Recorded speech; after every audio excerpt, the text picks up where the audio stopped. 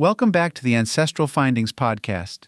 Join me as we explore the rich past of Washington's capital, Olympia, and discover how its layers of history have shaped the vibrant city we know today.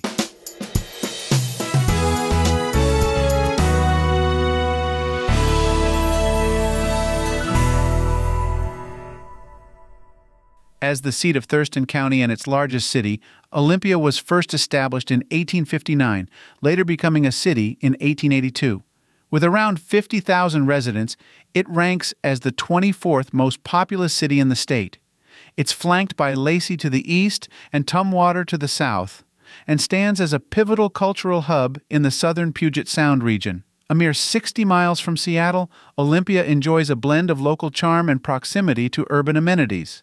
Long before European settlers arrived, the land that Olympia now occupies was home to various Native American tribes. The Stehchas, a Lushootseed speaking people later amalgamated into the Squaxin Island tribe, were the ancestral inhabitants for millennia. Various other tribes, such as the Puyallup, Nisqually, Chehalis, Duwamish, and Suquamish, would frequent the area to hunt and trade, drawn by its rich resources.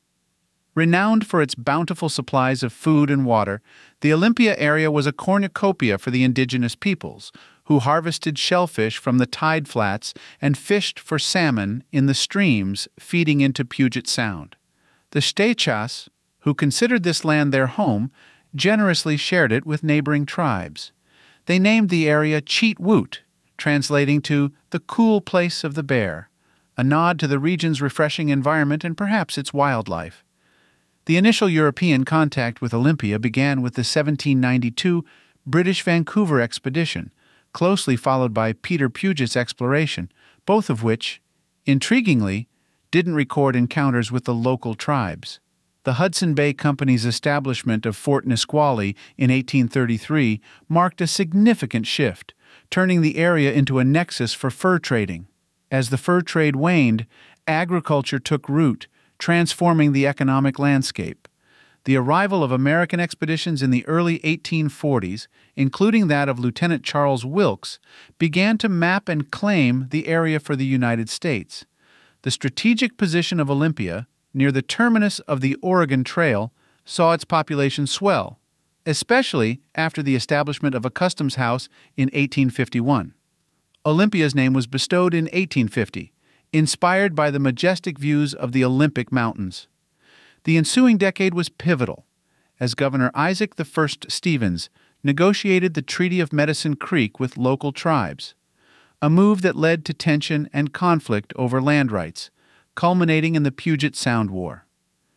Olympia's geographic advantage, situated by several waterways and an overland trail between the Cowlitz River and Puget Sound, made it a natural hub for pioneers and traders alike. Its fertile land and amiable climate further boosted its appeal as a settlement, attracting both commerce and agriculture. As we conclude this episode on our historical journey through Olympia, we are reminded that the city is more than just a political seat.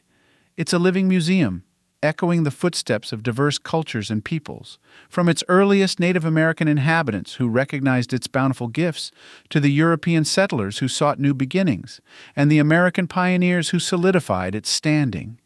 Olympia has been a stage for a continuous confluence of histories.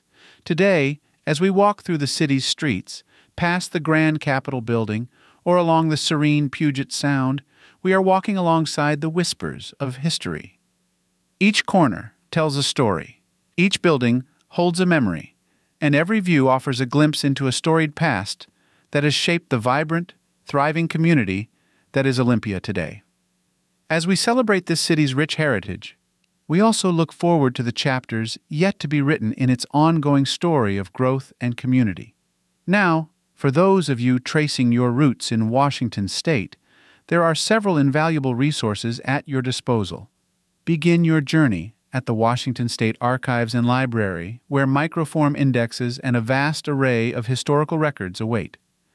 Dive into the past with their gazetteers and business directories, or trace military history through their extensive collections.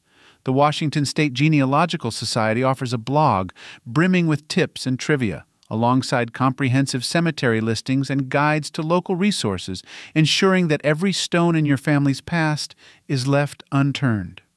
Should you prefer a more tactile approach, the Fiske Genealogical Foundation Library, along with several public libraries and regional archives branches, provides a trove of genealogical materials and expert volunteer assistance.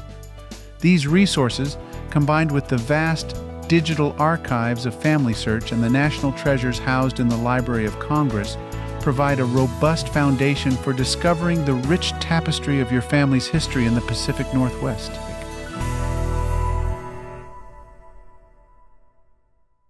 Thank you for listening and subscribing to the Ancestral Findings podcast.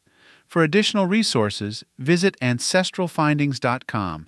You can download a free ebook, request a free genealogy lookup, and even participate in our weekly historical postcard giveaway. If you want to support us in more ways, consider supporting us on Patreon or PayPal. Every contribution helps to keep the lights on. From all of us at Ancestral Findings, thank you for being an integral part of our family history community since 1995. I hope you have a wonderful day, and as always, happy searching.